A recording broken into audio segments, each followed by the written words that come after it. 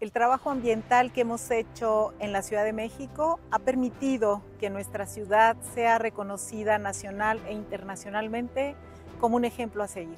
No solamente por el nivel de ambición que colocamos en las metas, sino por haber alcanzado estas metas o incluso sobrepasado estas metas. Este conjunto de acciones, además de los premios, nos ha permitido cosas tan importantes como el haber aumentado el número de días limpios que ahora tenemos en la Ciudad de México. Cuando llegamos a la Ciudad de México en el año 2018, la ciudad tenía 99 días limpios al año.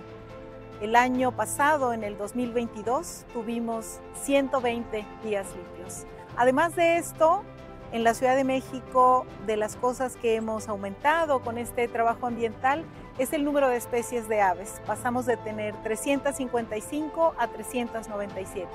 42 nuevas especies de aves que se suman al registro de la biodiversidad que tenemos en la Ciudad de México. Por eso, los reconocimientos, los premios que hemos recibido a nivel nacional e internacional como una ciudad que muestra un ejemplo, un camino a seguir de cómo transformar para bien las condiciones ambientales de nuestras ciudades.